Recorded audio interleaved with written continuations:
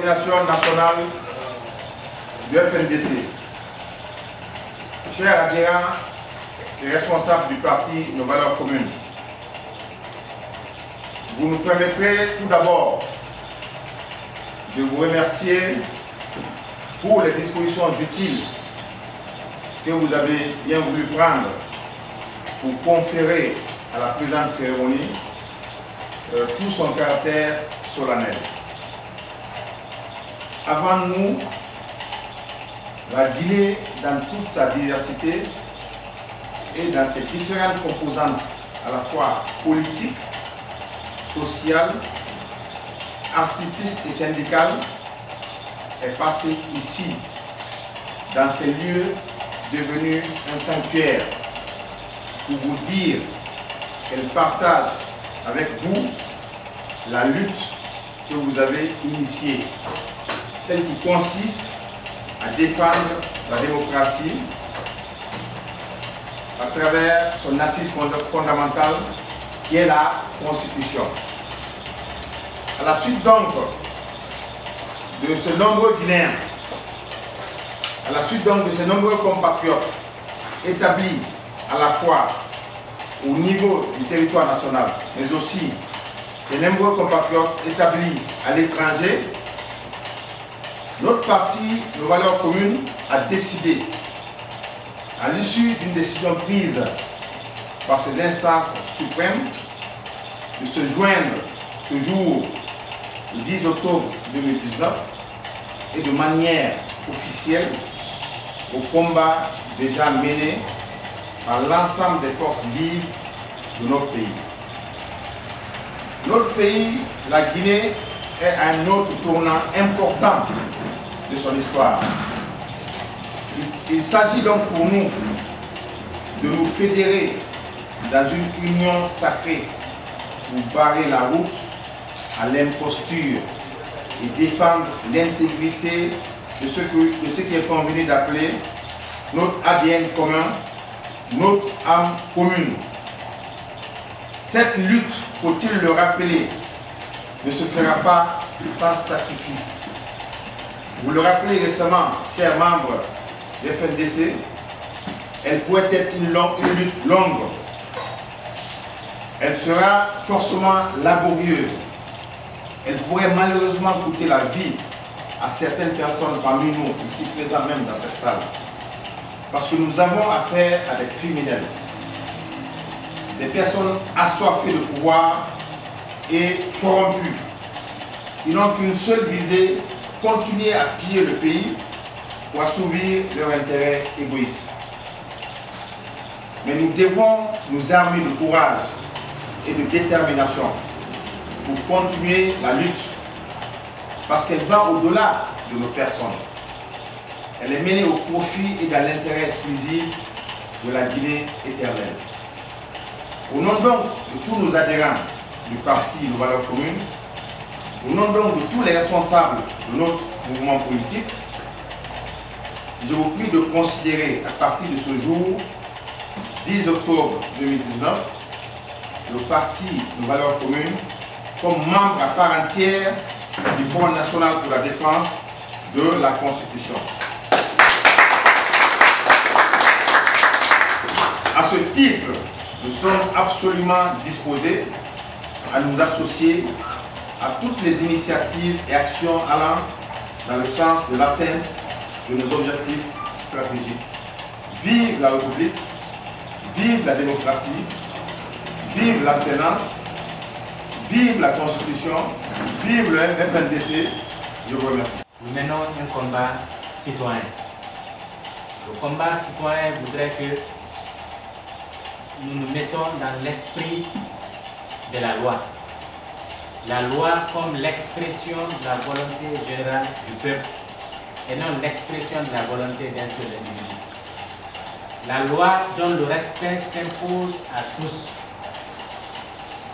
C'est pourquoi nous disons que tous les Guinéens doivent se réunir comme un seul homme pour protéger notre constitution. En la protégeant, nous protégeons les acquis démocratiques chèrement conquis au prix du sang des centaines de Guinéens. Parce que vous vous souvenez, le 28 septembre 2009, il y a eu plusieurs femmes violées, il y a eu des morts, il y a eu des blessés. Jusqu'à présent, il y a des handicaps physiques. donc, c'est à la suite de ce combat démocratique et de ces sacrifices du peuple de Guinée que nous avons abouti à l'élaboration de cette constitution. C'est à la suite de cela également que M. Alpha Condé a accédé au pouvoir. Et donc si aujourd'hui il veut changer la constitution, il est important pour nous de lui rappeler que ce que nous n'avons pas accepté avec les militaires, ce n'est pas avec les civils que nous allons accepter. C'est pourquoi nous nous réjouissons vraiment de votre adhésion, parce que ça nous renforce et puis ça nous donne encore le courage, le courage et toute l'énergie de continuer le combat pour la défense de la Constitution. Merci encore une fois et je vous souhaite vraiment la bienvenue. Je vais passer la parole à mes collègues. Merci bien. Citoyens, salut Salut Merci aux militants et sympathisants de la commune s'engageant officiellement dans cette lutte commune et dans cette lutte qui consiste à l'ancrage de la démocratie en Guinée.